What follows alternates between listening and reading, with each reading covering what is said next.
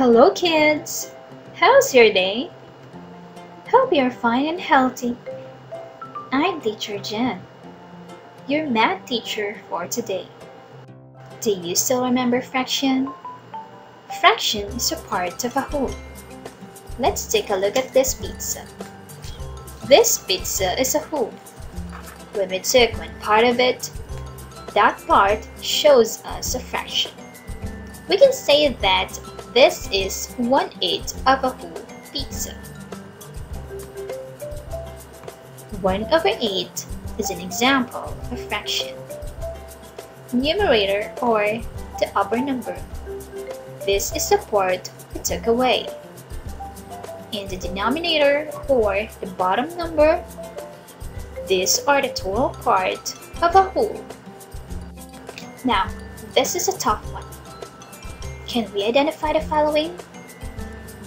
These are your choices. Proper fraction, dissimilar fraction, similar fractions, fraction, and mixed numbers. Are you ready for the questions? Great. Question number one.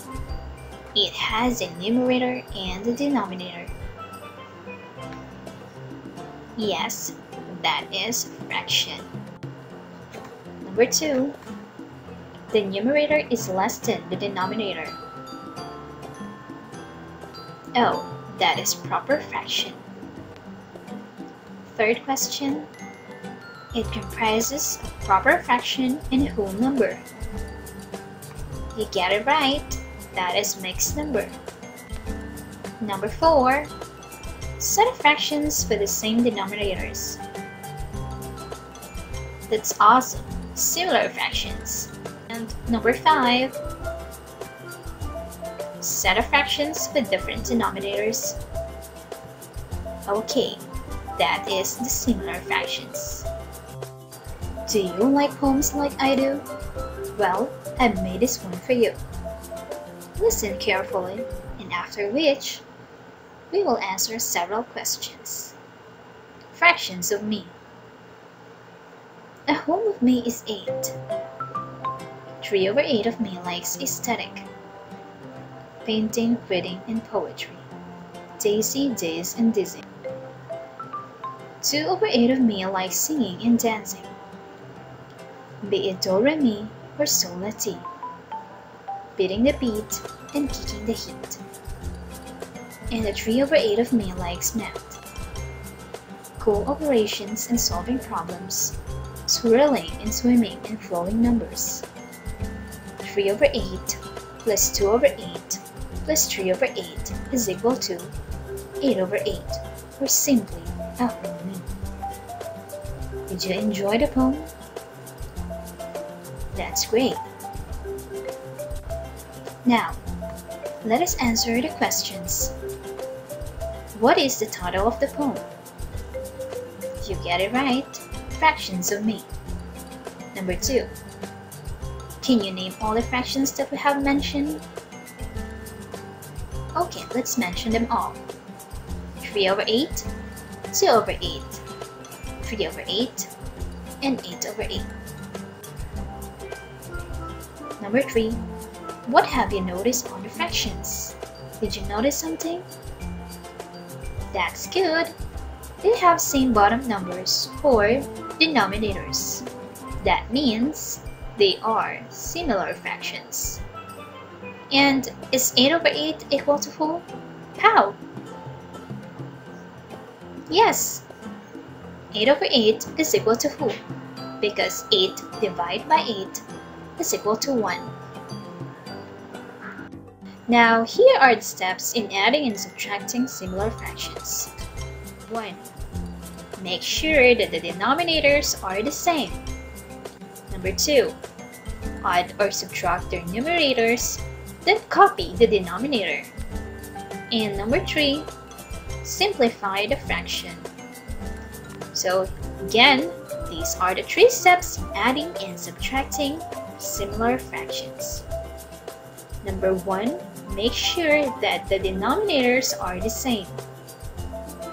number 2, add or subtract their numerators, then copy the denominator. And number 3, simplify the fraction if possible. Let's try this. 1 half plus 1 half is equal to? Let's try the three steps. Step number 1. Make sure that the denominators are the same. Step number 2. Add their numerators, then copy the denominator. 1 plus 1 is equal to 2 then copy the denominator which is 2. Then step number 3, simplify the fraction. Since it is 2 over 2 and 2 divided by 2 is 1, the answer will be 1.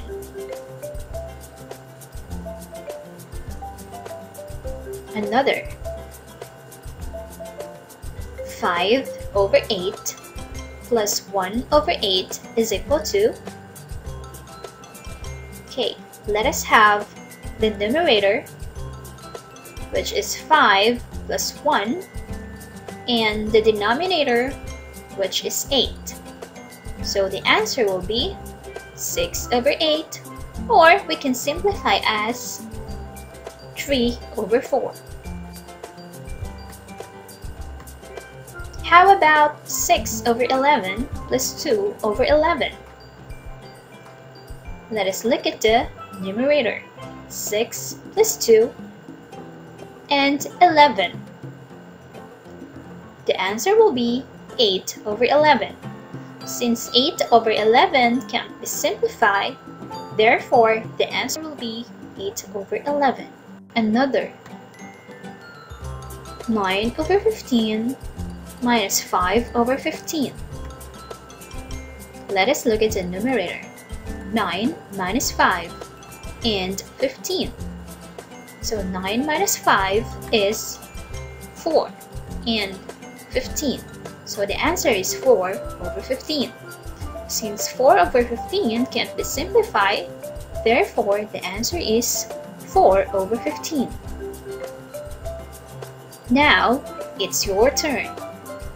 Let us answer this one. 2 over 4 plus 1 over 4. What would be the answer? Okay, the answer will be 3 over 4. Did you get it? Okay, next.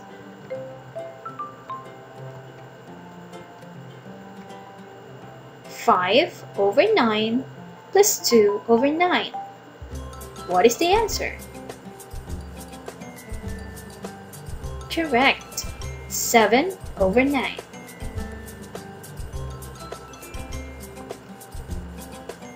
Next, 4 over 8 plus 4 over 8.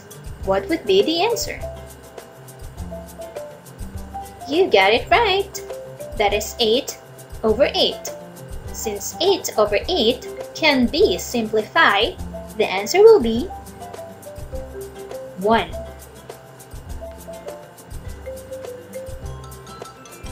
Next, 10 over 21 minus 3 over 21. Your answer? That's right! It's 7 over 21. Since 7 over 21 can be simplified, the answer will be 1 over 3. And the last one, we have 8 over 16 minus 2 over 16. That's great!